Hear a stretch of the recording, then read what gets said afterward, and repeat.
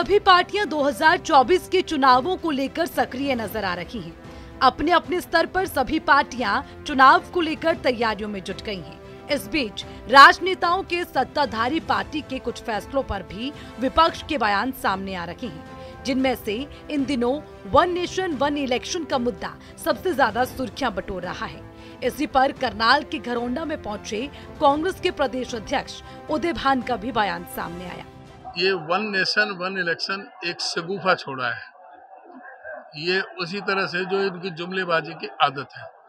और ये national level का है। हमारा जो इंडिया गठबंधन है, वो इस पर अपनी प्रतिक्रिया दे रहे हैं। हमारे जो नेशनल स्पोक पर्सन है, वो सब इस मुद्दे पर बातचीत कर रहे हैं। नहीं, ये प्रैक्टिकल हो ही नहीं सकता।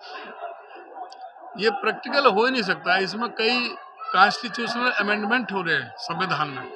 उसमें दो तिहाई बहुमत लोकसभा में चाहिए, उतना ही राज्यसभा में चाहिए और कम से कम आधी विधानसभा में चाहिए। जब जाकर उसके लिए समय चाहिए, जो इलेक्शन कमीशन को ईवीएम चाहिए, वो भी कम से कम 33 लाख ईवीएम की ज़रूरत है। आज ईवीएम 9 लाख है। 9 लाख ईवीएम में आवश्यकता पड़ेगी 33 लाख की कम से कम।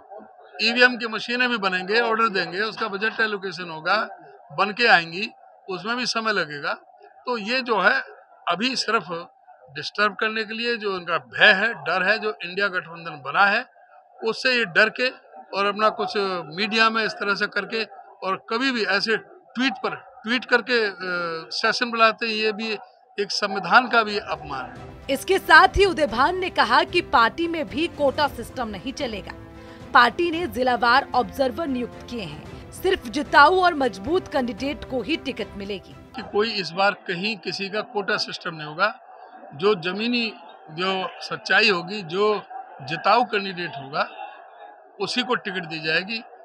जिताऊ और मज़बूत जो उम्मीदवार है वफादार जो उम्मीदवार है उसी को टिकट मिलेगी और आ, कोई नहीं रहेगा कि भाई पाँच दे दी उसको दस दे दी उसको पंद्रह दे दी उसको कोई सिस्टम नहीं चलेगा।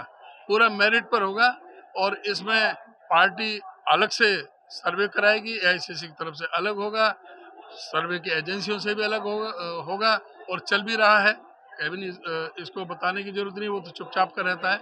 हमारा प्रदेश कांग्रेस की तरफ़ से अलग से होगा। सबका मिलान करके जो सबसे मज़बूत आदमी होगा उसको वहाँ पर कैंडिडेट बनाएँगे। अब पार्टी की टिकट देने की प्रणाली पर किस तरह से हाईकमान फैसला लेती है ये तो आने वाला समय ही तय कर पाएगा। फ़िलहाल देखना ये होगा कि पार्टी कितने मज़बूत उम्मीदवारों को टिकट देने में कामयाब रहती है। सूर्य समाचार के लिए करनाल से हिमांशु नारंग की रिपोर्ट।